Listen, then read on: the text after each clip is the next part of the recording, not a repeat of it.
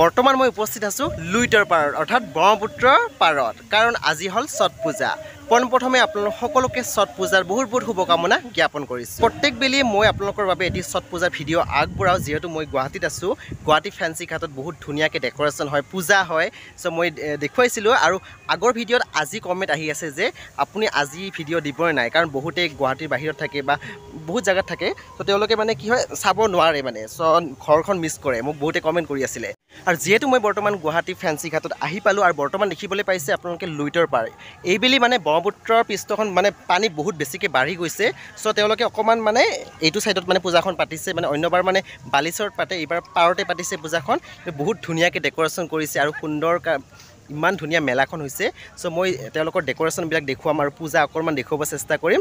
চ' আপোনালোকে ভিডিঅ'টো শেষলৈ চাওক আৰু ভাল পালে লাইক কমেণ্ট শ্বেয়াৰ আৰু ছাবস্ক্ৰাইব কৰি দিবলৈ একদম নাপাহৰিব। চ' আপোনালোকে ভিডিঅ'টো শেষলৈ চাবলৈ নাপাহৰিব। এয়া বৰ্তমান দেখিবলৈ পাইছে স্ক্ৰীণত ছট পূজাৰ বাবে বহুতো ইয়াত ভক্ত আহি উপস্থিত হৈ আছে। ইয়াত বহুতে আজি পূজা কৰিব আৰু গুৱাহাটী ফেঞ্চি ঘাটত বহুতো ব্যক্তি আহে অৰ্থাৎ বহুতো ভক্তপ্ৰাণ ৰাইজ আহে আৰু বহুতো পূজা চাবলৈ আহে মানুহ। ইয়াত বিভিন্নজনে নিজা নিজাকৈ ডেক'ৰেশ্যন কৰে।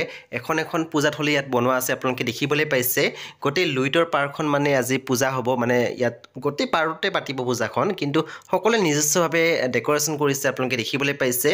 এওঁলোকৰ আপোনালোকে দেখিবলৈ পাইছে য'ত পূজা কৰিব ওপৰত চিপছৰ পেকেটেৰে মানে ধুনীয়াকৈ সুন্দৰভাৱে ডেক'ৰেশ্যন কৰিছে খুবেই সুন্দৰ ডেক'ৰেশ্যন কৰিছে মই গৈ নিজে চাইছোঁ যিহেতু মোৰ ভাল লাগিছে।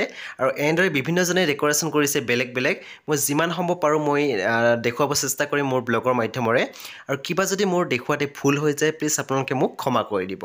এতিয়া মোৰ ব্লগৰ জৰিয়তে আপোনালোকে অকণমান চাই লওক এইবেলি ছট পূজাৰ অকণমান দৃশ্য। আৰু কোনোবা যদি অসমৰ বাহিৰত থাকে তেওঁলোকে যদি মানে এইবেলি পূজা কৰিব পৰা নাই গুৱাহাটীৰ ফেঞ্চি ঘাটত তেওঁলোকে প্লিজ মোক কমেণ্ট কৰিব মোৰ ব্লগটো চাই কেনেকুৱা পাইছে আৰু তেওঁলোকে ঘৰলৈ মিছ কৰিছে নে নাই জনাব। কাৰণ আগৰ বেলি মোৰ যোনবিলাক ব্লগ আছিল তেওঁলোকে মোৰ কমেণ্ট দিছে মই পাইছিলোঁ যে মানে মিছ কৰিছোঁ ঘৰখন এনেকৈ বহুতে কমেণ্ট কৰিছিলে।